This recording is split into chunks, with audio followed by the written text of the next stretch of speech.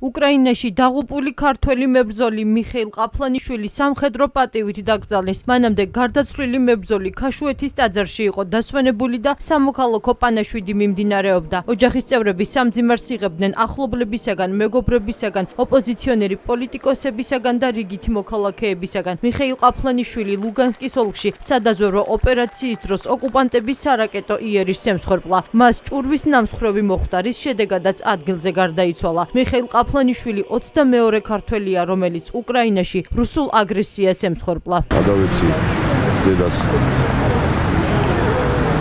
უკრაინის თავდაცვის მიერ გადმოცემული უკრაინისა და საქართველოს დროშა მინდა ერთი რამ გითხრათ.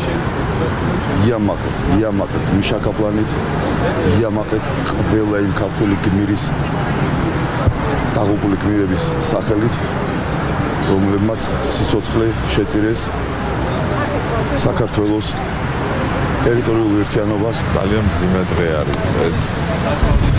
ჩემთვის, ჩვენთვის ალბათ სრულიად საქართველოსთვის 22 გმირი დაეცა ბრძოლის ველზე. უკრაინა-რუსეთის ომის აი ამ 8 თვიან ბრძოლაში რუსული მხარე ნაწილობრივ ადასტურებს დილიდან გავრცელებულ ინფორმაციას იმის შესახებ, რომ დღეს დილით ყირიმში სევასტოპოლის პორტში ბაზირებულ რუსულ სამხედრო ხომალდებზე დრონებით შეტევა მოხდა. სოციალურ ქსელებში გავრცელებული დაუდასტურებელი ინფორმაციით შეტევის შედეგად დაზიანდა რუსული სამხედრო გემები, რომელთა შორის არის რუსული ფრეგატი ადმირალი მაკაროვი, თუმცა რუსული მხარე მომხდარის განსხვავებულ ვერსიას ავრცელებს. რუსეთის თავდაცვის სამინისტრო ტელეგრამ არხზე წერს, რომ შაბათს დილით სევასტოპოლში სოფელში ბაზირებულ რუსეთის შავი ზღვის ფლოტის ხომალდებზე შეტევა მოხდა. რუსეთის თავდაცვის უწყებაში ამტკიცებენ, რომ შეტევის უკან უკრაინა დგას, რომელმაც ამისთვის უპილოტო საფრენი აპარატები და 7 ავტონომიური საზღვაო უპილოტო აპარატი გამოიყენა. რუსული მხარე აცხადებს, რომ ყველა სამიზნე განადგურებულია. რუსული ფლოტი კი თითქმის არ დაზარალდა. რუსეთის თავდაცვის სამინისტრო უკრაინას ადანაშაულებს, რომ მან შეტევა მიიტანა იმ ხომალდებზე, რომლებიც ხორბლის კორიდორის უსაფრთხოებას უზრუნველყოფენ. რუსული მხარე თავდასხმას ტერორისტულ აქტს უწოდებს და ამბობს, რომ ის ბრიტანელების მიერ მომზადებულმა უკრაინელმა სამხედროებმა, კერძოდ 73 სპეციალური საზღვაო ოპერაციების ცენტრის სამხედროებმა დაგეგმეს. რუსული სახელისუფლებო პროპაგანდისტული მედია რუსეთის თავდაცვის სამინისტროზე დაყრდნობით აცხადებს, რომ რუსეთი უკრაინასთან მარცვლეულის შეთანხმებას წყვეტს. უწყების თქმით, მათ ეს გადაწყვეტილება უკრაინის მხრიდან ანექსირებულ სევასტოპოლში შავ ზღვაში რუსულ გემებზე დრონებით თავდასხმის შემდეგ მიიღეს.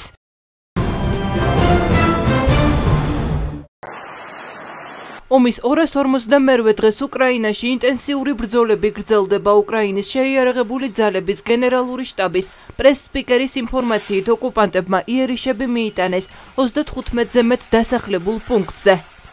Противник намагається утримати тимчасово захоплені території.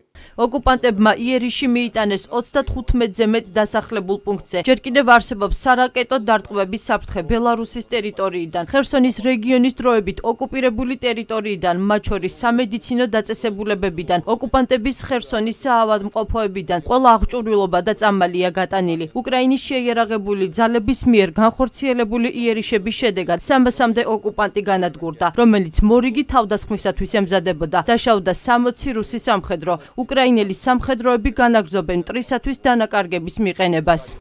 რუსულმა ძალებმა გვიან ღამით დნეპროპეტროვსკის ოლქის სამი თემი ნიკოპოლი, მარგანეცი და მიროვსკოე დაბომბეს. დაზიანდა მრავალსართულიანი და კერძო სახლები, ასევე გასცადენი და ელექტროქსელები. პარალელურად რუსეთის თავდაცვის მინისტრის განცხადებას ნაწილობრივი მობილიზაციის დასრულების თაობაზე უკრაინის პრეზიდენტი ეხმაურება. ვოლოდიმირ ზელენსკი არ გამორიცხავს, რომ მოსკოვს ხალხის ომში გაგზავნის ახალი ტალღაც დასჭირდეს. ზელენსკის თქმით, კიევი ყველა შესაძლო ვერსიისთვის ემზადება ვინაიდან ვინაიდან რუსეთის ხელისუფლება იპოვის ნებისმიერ გზას ომის გასაგრძელებლად.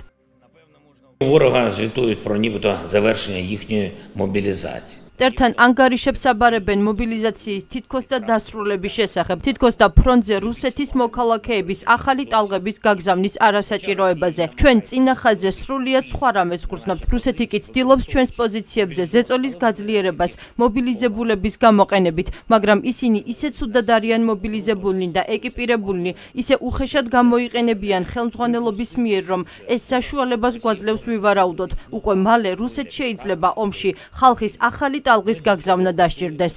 უკრაინასთან ომის გამო ოკუპანტი ქვეყნის დანაკარგები ყოველდღიურად იზრდება უკრაინის თავდაცვის უწყების ბოლო ინფორმაციით რუსეთმა უკვე 70250 ჯარისკაცი დაკარგა. განადგურებულია რუსეთის 2659 ტანკი 5401 ჯავშან ტექნიკა 1708 საარტილერიო სისტემა 273 თვითმფრინავი 252 ვერტმფრენი და სხვა სამხედრო ტექნიკა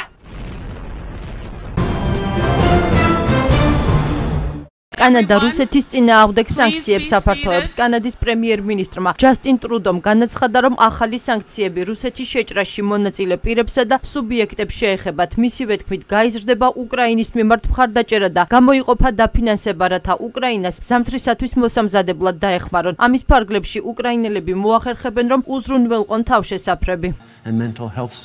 ჩვენ სანქციებს ვუწესებთ ენერგეტიკული სუბიექტების 35 მაღალჩინოსანს და ენერგეტიკული სექტორის 6 სუბიექტს, რომლებიც მონაწილეობენ რუსეთის უკანონო შეჭრაში. ჩვენ სანქციების დაწესებას ასევე ვგეგმოთ რუსეთის იუსტიციისა და უშიშროების სექტორების წარმომადგენლებზეც. კანადა აგრძელებს უკრაინის გვერდით დგომას. ჩვენ ერთად ვუჭერთ მხარს თავისუფლებას, დემოკრატიას და სამართალს. ერთად ვდგავართ რუსული აგრესიის წინააღმდეგ. რუსეთმა უცხოური აგენტების სიაში რუსული დამოუკიდებელი ტელეკომპანია დოჟდის ჟურნალისტი ეკატერინე კოტრიკაძე, ჟურნალისტი ვლადიმერ რომენსკი, ასევე დოჟდის დამფუძნებელი ნატალია სინდეევა და კიდევ რამდენიმე პირი შეიყვანა. რუსეთის იუსტიციის სამინისტროს განცხადებით ისინი აგენტების სიას მათი პოლიტიკური საქმიანობის გამო დაემატნენ. რუსეთში უცხოური აგენტების სიას იუსტიციის სამინისტრო კვირაში ერთხელ ყოველ პარასკევს აქვეყნებს და მასში ცნობილი პოლიტიკოსების, ჟურნალისტებისა და უფლებადამცველების გვარები ფიგურირებს. ტელეკომპანია დოჟდი 2008 წელს დაარსდა და რუსეთის ოპოზიციასა და საპროტესტო მოძრაობებს აშუქებდა. რუსეთში გასულ წელს არხს უცხო აგენტის სტატუსი მიენიჭა. ცნობისათვის არხმა რუსეთში მაუწყებლობას სამ მარტს შეაჩერა, ხოლო 18 ივლისს კი მეზობელი ლატვიის სტუდიებიდან განაახლა. სახალხო დამცველი ბავშვების მიმართ სავარაუდო დანაშაულებრივი ქმედებების ხუთ შემთხვევას სწავლობს ომბუდსმენმა სოციალურ ქსელებსა და მედია საშუალებებში. გავრცელებულ ინფორმაციაზე რომელიც ბავშვების მიმართ სავარაუდო დანაშაულებრივ ქმედებებს ეხება განცხადება გავრცელა ნინო ლომჯარიას განცხადებით ბაღებში სკოლებსა თუ მათ მიმდებარე ტერიტორიაზე უნდა მოხდეს უცხო პირთა გადაადგილების მკაცრი კონტროლი. ხოლო ბავშვებისათვის საფრთხის შესახებ ეჭვის არსებობის შემთხვევაში პასუხისგებელმა პირებმა დროულად მიეწოდონ ინფორმაცია. მშობლებსა და სამართალ დამცავ უწყებებს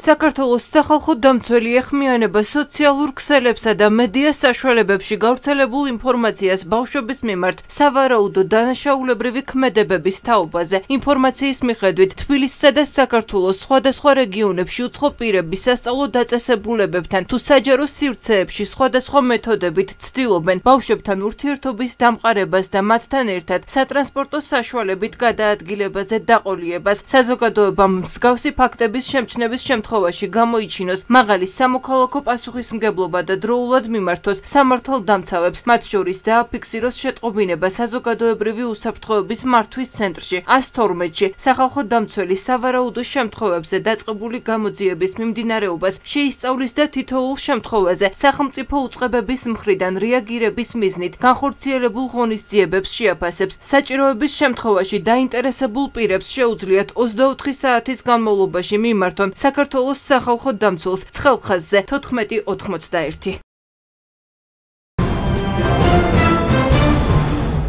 თელავის რაიონულმა სასამართლომ დის მკვლელობაში ბრალდებულ მამაკაც პატიმრობა შეუფარდა. ადვოკატები ბრალდებულის აღკვეთის ღონისძიების გარეშე დატოვებასთან მისთვის გირაოს შეფარდებას ითხოვდნენ. სახელმწიფო ბრალდებამ კი პატიმრობის გამოყენების შუამდგომლობა დააყენა. ბრალდებულმა პროცესზე განმარტა, რომ მძიმე ფსიქოლოგიური მდგომარეობის გამო მომხდარი არ ახსოვს. პროკურატურის ინფორმაციით გამოძიებით დადგინდა, რომ 26 ოქტომბერს სიღნაღის რაიონის სოფელ ტიბანში ცენტრალურ საავტომობილო გზაზე ბრალდებულს ძმასთან ფიზიკური დაპირება დაპირისპირება მოუხდა. უწყების ცნობით ძმებს შორის კონფლიქტში ბრალდებულის დაც ჩაერთო. პროკურატურის განცხადებით აღნიშნულით განაწყენებულმა ბრალდებულმა ასევე ფიზიკური შეურაცხყოფა მიაყენა თავის დას, რომელიც ასფალტის საფარზე დაეცა. ჯანმრთელობის მძიმე ხარისხის დაზიანება მიიღო და შემთხვევის ადგილზე გარდაიცვალა.